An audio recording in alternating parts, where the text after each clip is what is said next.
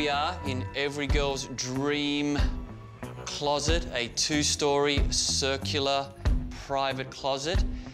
Now this was something very important to Ryan. When we were discussing Chanel's closet, he wanted this to be literally every girl's dream. He wanted every girl who's gonna watch the show to obsess about this closet.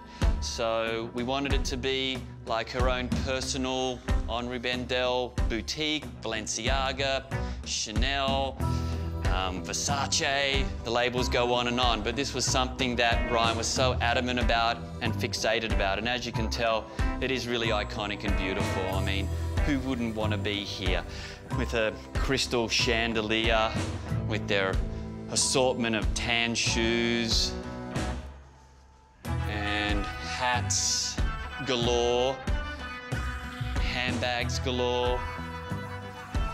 So this was, and this is one of my personal space, uh, personal favourite spaces to be in. It's just so beautiful, and it really just makes, you I just really like hanging out here. So enjoy the space.